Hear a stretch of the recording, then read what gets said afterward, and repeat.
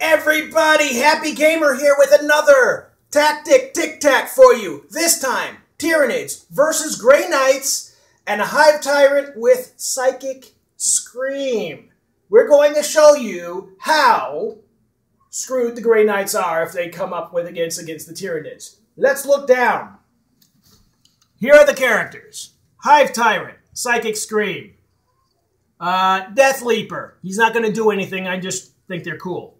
And this, this is my uh, Grey Knight squad of Terminators with a chapter uh, captain, champion, master, whatever. We don't care. All we know is he has a leadership 10. So here's what we're going to do. For people who don't know, we're going to have Psychic Scream. Psychic Scream is a Tyranid hive mind power, which lets you roll 2d6 plus 2 versus a unit, uh, a unit's uh, highest leadership. And then they take that many wounds. Now, let's go over some other special rules. We're going to start with Shadow in the Warp. Shadow in the Warp is everybody within 12 inches of a Synapse creature is negative 3 leadership. And also, we're going to have our little friend here. Ah! It's after me! It's after me! He does another negative D3 to the leadership to the army's warlord. So let's just find out what that would be, just for fun of it. It's going to be, I don't know. Well, let's see. Oh! I roll a 5. That's another negative 3. So let's get that straight. This guy the warlord of the Grey Knights is now at negative six leadership. Negative six leadership. We are now going to skip the Deny the Witch, skip the Perils of the Warp, because if they go off, then none of this happens and we don't care. So let's just assume it works. We are now going to roll 2d6 plus 2 and find out how many wounds this squad is going to take. Okay, here we go. Wabam! Oh, and I didn't even get a good roll. A three and a two. That's a five. That's a six. That's a seven. So that right there means that this guy, if he's at leadership 10 minus 6, which makes him at leadership 4, and I just rolled that, that plus 2, that makes it 7.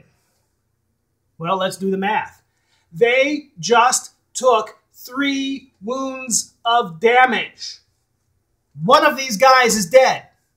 Let's assume it's not the warlord, but uh, one of them is dead because they have two wounds each. Automatically, no save, no toughness, no nothing. Let's see if I had done it again. Let's see if I had gotten a better roll. Aha! Doubles. Three and three. Still, that's about as average as you can get. That's a six, seven, eight. So that would be, that would be two models dead.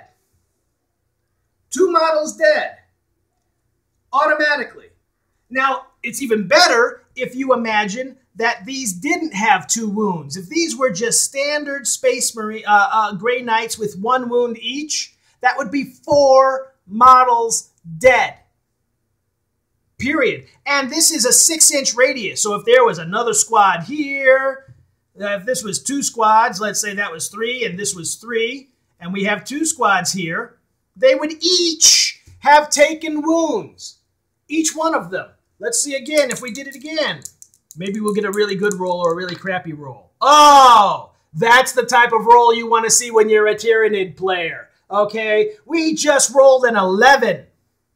So we get three examples here. A crappy roll, an average roll, and a good roll. We just rolled an 11 versus their leadership 6. Okay? Boom one of these units is just wiped out. Let's say it was this one, is two, four, six. That's six wounds. And he, as you see with 11, minus, uh, I'm sorry, 11, 12, 13, minus four, that's nine wounds. Nine wounds. This unit would be gone if it was one unit. Or if it was still a big unit, nine wounds. That's one, two, three, four, five, six, seven, eight, and one of these guys takes one for nine wounds. You just saw a command squad of Grey Knights wiped out. That is your tactic tic tac for this week. I will see you next time. Bye.